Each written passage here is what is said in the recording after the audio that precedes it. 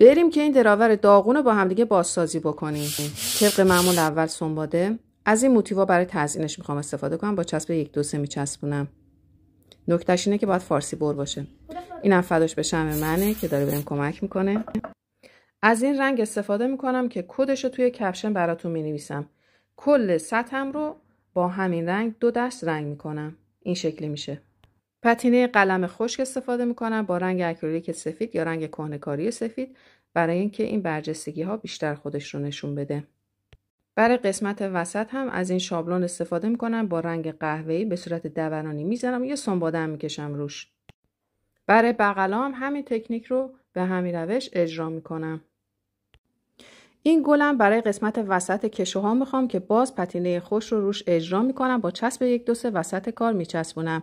اینم از نتیجه کار.